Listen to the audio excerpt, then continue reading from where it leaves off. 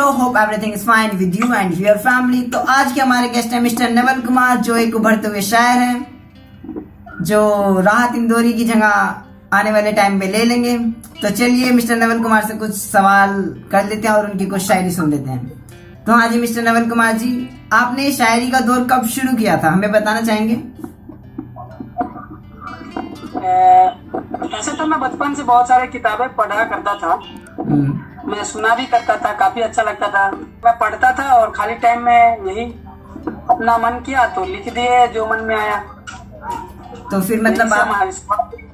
मतलब आपका कहने का मतलब है कि आपने शायरी कम से कम भी सात आठ साल हो चुके हैं आपको लिखते हुए? लगभग हाँ हो सकता है बारह तेरह साल हो गया मान लीजिए आप। अच्छा तो फिर आप शायरी के आइडियाज़ कहाँ से लेके आते हैं? आ, मैंने गूगल में कई चीज़ों को पढ़ते रहता हूँ। मैं कई किताबें पढ़ा कई लेखक लेखकों का किताब मैंने पढ़ा। फिर जैसे कि गुलजार साहब है उनका पता होगा। उनको मैं कभी कभी मैंने गूगल में पढ़ना सीखा मतलब ऐसे कहीं से ऐसा लगता है मुझे कि हाँ मुझे पढ़ना चाहिए। तो मैं वहाँ से पढ़ता रहता हूँ। अच्छा। तो आप सबसे ज़्यादा फॉलो किसको करते हैं कि एक आपका पर्टिकुलर शायर हो कि आप उसको फॉलो करते हैं? तो वो उस शायर का नाम अगर जो आप हमें बताना चाहें। गुलजार को ही करेंगे क्योंकि गुलजार है बहुत ज़्यादा वो तो फ़िल्म डायरेक्टर भी आपको पता होना चाहिए। हम्म, तो इसे मैं सीखता हूँ और उनके ही शायरी में ज़्यादा पढ़ता हूँ।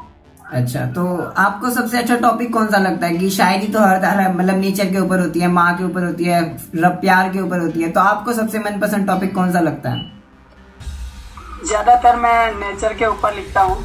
अच्छा। और मेरा रुचि इसी में आता है क्योंकि ये जो नेचर है ये काफ़ी ब्यूटीफुल है बहुत सुंदर लगता है देखने में। आप कभी अकेले बैठ करके देखना तो आपको बहुत बहुत सुकून मिलता है। बाहर की दिखावटी दुनिया से बच करके अगर हम आते हैं नेचर में।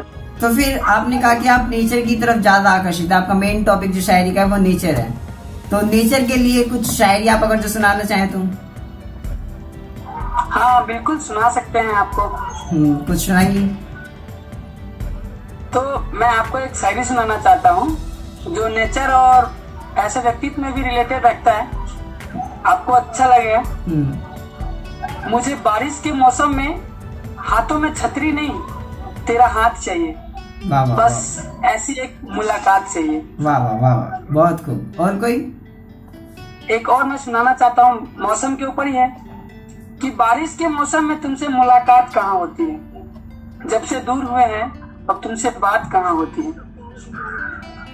बहुत खूब। बारिश का मौसम चल रहा है और असम और बिहार में बाढ़ आ रही है और आप बिल्कुल बारिश को लेके इतनी शायरी लिख रहे हैं। बहुत खूब बहुत खूब। अच्छा तो हमारा अगला सवाल आपसे ये हमारा अगला सवाल आपसे ये कि इंस्पिरेशन कहाँ से मिलती है? आपको कि हाँ शायरी लिखनी है। क्योंकि हर काम को करने के लिए कंसिस्टेंसी और एक इंस्पिरेशन की ज़रूरत होती है मोटिवेशन की ज़रूरत होती है। तो वो आपको कहाँ से ले- लेके आते हो आप अपने अंदर?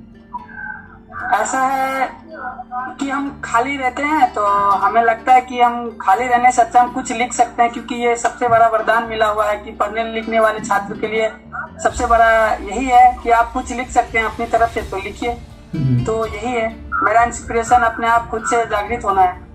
तो मैं खुद को मोटिवेट करते रहता हूँ कभी भी कुछ काम करने के लिए। कुछ और शायरी जो आप हमें सुनाना चाहें?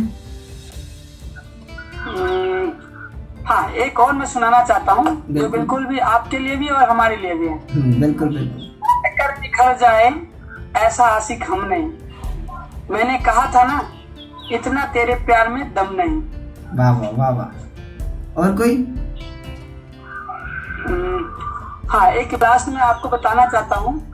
उनके लिए है जो देखना चाहे सुनना चाहे। तू खुश रहे सदा। ये दुआ है हमारी। हम्म। मैं आईना हूँ। मुझे टूटने की आदत है। वाह वाह वाह वाह।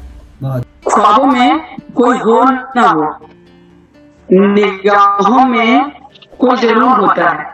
सपनों में कोई हो ना हो। यादों में ज़रूर होता है। वाह वाह। कमाल की शायरी। तो हमारे दो सवाल अंत में ये रहेंगे। आप शायरी जो लिखते हैं वो दिल से लिखते हैं कि दिमाग से लिखते हैं? देखिए हम तो चलते फिरते जहाँ दिख जाते हैं हमको लिख देते हैं। तो मतलब आपको आइडियाज़ दिल से निकल के आते हैं कि दिमाग से निकल के आते हैं? अब इसलिए दिल से निकलता है सबका तो। अच्छा तो मतलब दिल से आप शायरी लिखते हैं? जी। तो हमारा अंतिम सवाल आपसे ये रहेगा कि ये जो शायरी में वैसे बहुत बड़े बड़े गुलजार साहब आपने बताए राहत इंदौरी साहब आपने बताए तो ये जो शायरी लिखते हैं और आप भी लिखते हैं तो ये जो प्यार में जो प्यार के ऊपर जो शायरी होती है क्या सच में रियल दुनिया में भी इतना ही प्यार है जितना शायरी में बताया जाता है? इस बारे में आप कुछ कहना चाहेंगे? देखिए किसी शायर का लिखने का मतलब ये होता है कि वो बाहरी दुनिया में वो चीज़ वो ढूंढना चाहता है बट वो उसे नहीं मिलता है। तो वो अपने मन की भावनाओं को व्यक्त करने के लिए कागज़ और पेन का उपयोग करते हैं वो। और वो सारी चीज़ें लिख डालते हैं क्योंकि मनुष्य हर बात को समझ नहीं पाते। कई लोग ऐसे होते हैं जिनके पास आप जाते हैं कि शायद ये समझ सके। बट शायद ऐसा होता नहीं है वो आपको समझ करके नहीं बिल्कुल आपको उल्टा ले जाते हैं वो।